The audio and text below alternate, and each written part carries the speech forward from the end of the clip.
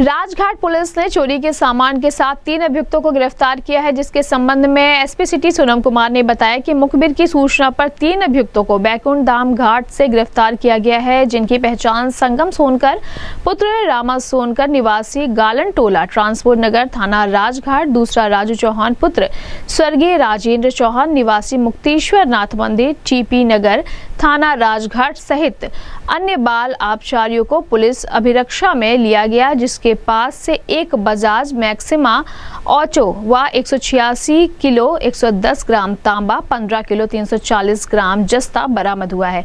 SP city ने बताया कि अभियुक्तों के ऊपर मुकदमा पंजीकृत कर जेल भेज दिया गया। गिरफ़्तार करने वाली पुलिस टीम में राजघाट थाना प्रभारी रणधीर कुमार मिश्रा स्वास्थ्य टीम प्रभारी प्रदीप शर्मा, टीपी नगर चौकी प्रभारी Anup Kumar Mishra, head constable Arun Kharwar, constable Karunapati Tiwari, Durgesh Mishra, Mangaldeep Yadav Devendra Yadav, Ankit Kumar Bind शामिल रहे।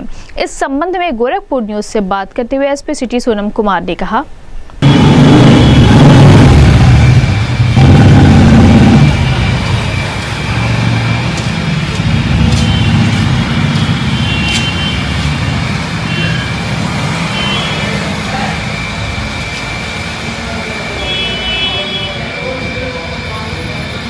हाँ राजघाट थाने में चोर गिरफ़्तार किए हैं। ये लोग दुकानों में चोरी करते थे और थोड़ा थोड़ा ही सामान चुराते थे ताकि मालिक को शक ना हो और फिर इसको जाकर कबाड़ियों को बेच देते थे।